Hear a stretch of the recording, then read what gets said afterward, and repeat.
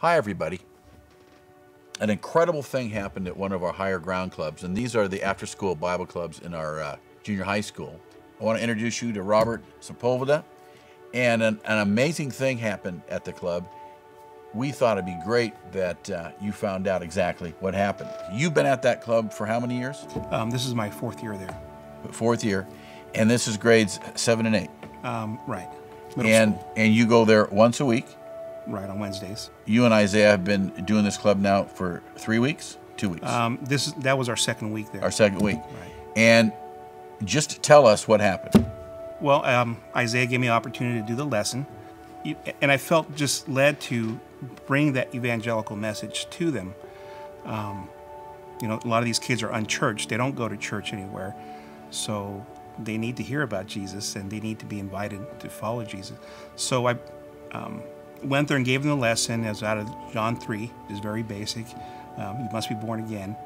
Um, and the kids were really listening. I mean, these are junior hires. We had about 50 of them. So uh, to get them to really listen sometimes is, is tough, but mm-hmm. they were really listening. And I just, you know, I picked up on that. that well, that's, and, and that's why it's so important for us to pray.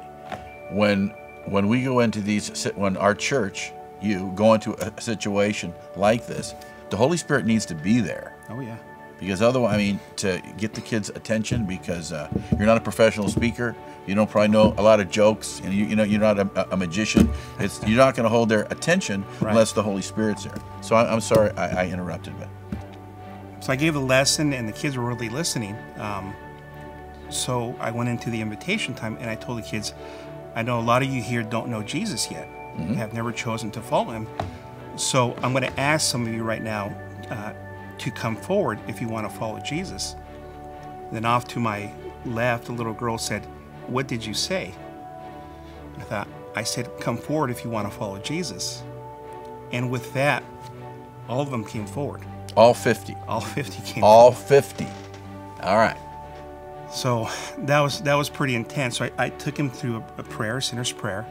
Um, and as I was, I said, repeat after me. And as I was hearing them, as we went through the prayer, their voices just got louder and louder and louder. I'm like, wow. Um, so at the end of that, I'm like, okay, what now?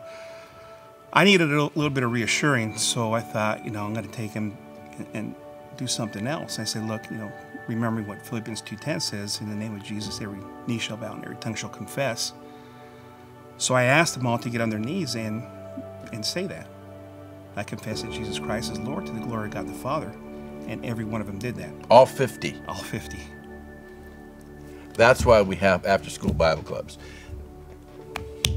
I'm really proud of you, Rob, as your pastor. You're making a difference. Um, you never know. You know, those are 50 kids. You never know. And just that one day ch- it would change your life forever. And uh, we're all praying for revival. And this is how it happens. Amen. God, I mean, this is just this is just awesome, and uh, praise the Lord.